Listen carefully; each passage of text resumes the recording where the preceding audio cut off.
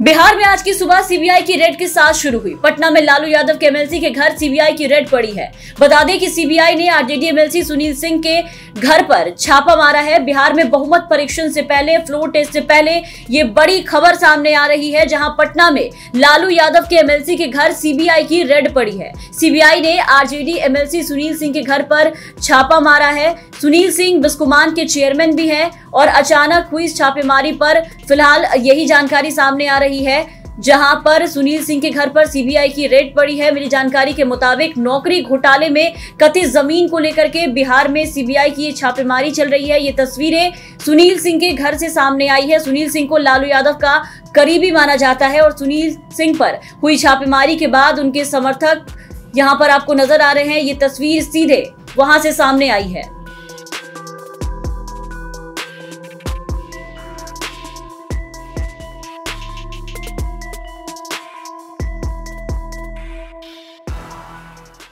इसके अलावा आरजेडी के राज्यसभा सांसद अशफाक करीम के घर भी सीबीआई की रेड पड़ी है। शक्ति परीक्षण के पहले सीबीआई की रेड से इस तरीके से खलबली मच गई है।